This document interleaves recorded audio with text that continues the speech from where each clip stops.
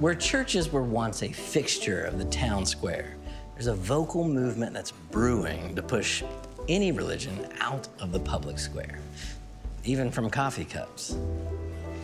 Whether it's a prayer in school, a display in a government building, or an elected official with outspoken beliefs, lines in the sand seem to be shifting as to how much religious liberty is acceptable and where people are allowed to practice their faith. Liberty is pitted against liberty in a conflict between freedom of religion and freedom from religion. But in a system governed by we the people, can you truly be free from religion when our democracy is populated with a majority of religious people? And on the flip side, can you enforce freedom from religion without establishing no religion as the state religion?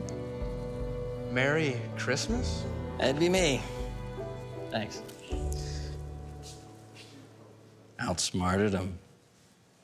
The state of churches today leaves a lot to be desired, and when churches aren't continually splitting apart, they may shut out any influence with people unlike themselves. Denominationalism becomes tribalism.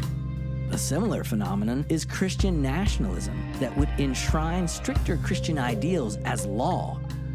It was Protestant nativists that revived the KKK, whose members included some of their ministers.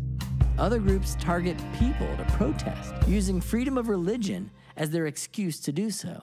Where churches in America were once instrumental in bringing people together and building communities, today, a broad diversity of American communities already brought together are now building churches. If you're someone who doesn't like to leave home or leave your car, a holy cowboy or a heaven's angel, it says something about the needs of the human heart to want to come together to find fellowship and meaning. This is even true among the most ardent non believers. So, what we've done is basically take all the best bits out of church and just get rid of the God bit. By best bits, Evans means creating a community with a focus on good and gratitude.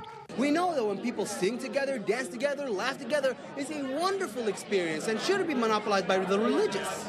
If it looks like a church, talks like a church, and acts like a church, but believes the opposite of a church, it still shows the divine wisdom in human beings coming together in the spirit of compassion. This video is inspired by our PBS series Reconnecting Roots. Visit reconnectingroots.com to watch the full episodes or to check out our music and podcast. Give us a thumbs up and subscribe so we can keep making more. Thanks for watching.